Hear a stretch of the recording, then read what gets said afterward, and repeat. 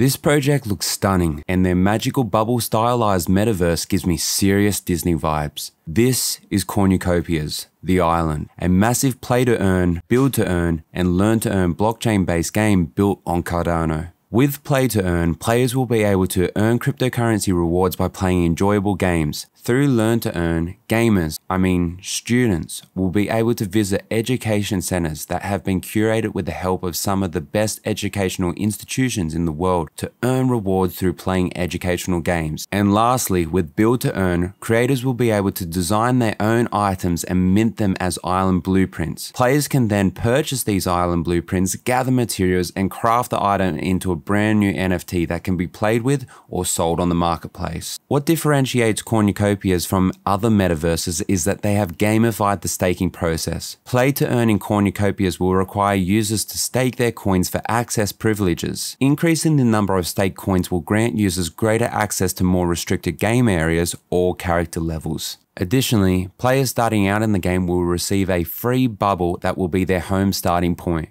To upgrade and grow your bubble, you will need to venture to one of the theme zones to complete your daily tasks and earn rewards. The theme zone set to be released in the first wave of public land offerings includes Age of Samurai, Wild West, and Life on the Farm. The public land sale website is due to be released this year, so keep an eye out for that. The team at Cornucopias have even built a dashboard for guild managers that will allow them to monitor and optimize the output of their scholars. This is a much needed feature that is sure to appeal to the vast number of guilds in the play to earn space. Cornucopias COPI token is due to be rolled out over three IDO launchpads within the next few days, and their token generation event will take place very soon, so be sure to follow them on Twitter and join their Discord to stay up to date with new developments.